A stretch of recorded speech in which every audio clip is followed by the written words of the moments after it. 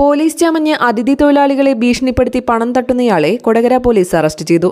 ചാവക്കാട് പാലയൂർ സ്വദേശി കറുപ്പം വീട്ടിൽ മുപ്പത്തഞ്ച് വയസ്സുള്ള സവാദിനിയാണ് മറ്റത്തൂരിൽ നിന്നും പോലീസ് പിടികൂടിയത്. കൊടകരയിൽ വാടകയ്ക്ക് താമസിക്കുന്ന ഇയാൾ ഈ പ്രദേശത്ത് തന്നെയുള്ള അതിഥി തൊഴിലാളികളെ ഭീഷണിപ്പെടുത്തിയാണ് പണം തട്ടിയത്. പതിനെട്ടായിരത്തി രൂപയും മൊബൈൽ ഫോണും അതിഥി തൊഴിലാളികളിൽ നിന്നും തട്ടിയെടുത്തു. കൂടുതൽ പണം ആവശ്യപ്പെട്ടപ്പോൾ നൽകാത്തതിനെ തുടർന്ന് തൊഴിലാളികളെ ആക്രമിക്കുകയും മൊബൈൽ ഫോണുകൾ നിലത്തെറിഞ്ഞു പൊട്ടിക്കുകയും ചെയ്തതായും പരാതിയുണ്ട്. നിരവധി സ്ഥലങ്ങളിൽ നിന്ന് സമാന രീതിയിൽ ഇയാൾ പണം തട്ടിയെടുത്തിട്ടുള്ളതായി പോലീസ് പറഞ്ഞു. Kodakara C I P K Das S I E S Suresh A S ഐമാരായ Ashlin Saju Paulose C B O Sreejith എന്നിവർ അടങ്ങിയ സംഘമാണ് പ്രതിയെ പിടികൂടിയത്.